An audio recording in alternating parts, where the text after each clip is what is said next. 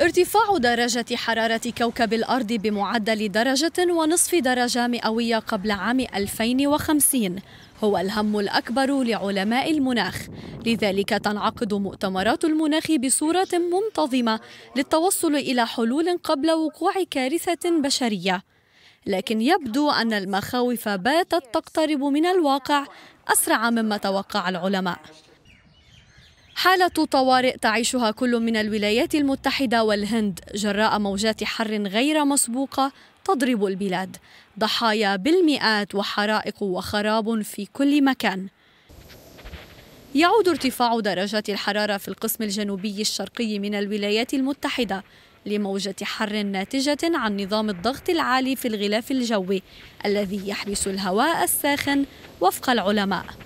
فيما ارتفعت درجات الحرارة في الهند لتأثرها بمنخفض الهند والسودان الموسميين اللذين يزيدان من نسبة الرطوبة في الجو.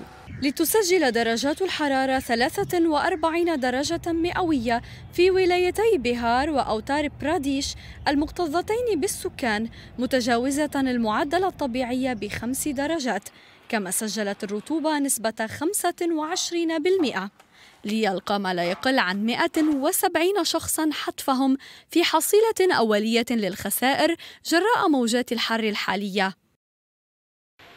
ومع استبعاد دائرة الأرصاد أن تنخفض الحرارة في الساعات المقبلة يحذر العلماء من ارتفاع درجة حرارة الأرض بسرعة أكبر بكثير مما كان متوقعا مع استمرار تحطيم العديد من السجلات المناخية للأرقام القياسية. لمتابعة المزيد من الأخبار والبرامج والقصص الإنسانية والوثائقيات والتقارير الإخبارية. لا تنسوا الاشتراك في قناتنا على يوتيوب الضغط على زر الإعجاب وتفعيل جرس التنبيهات.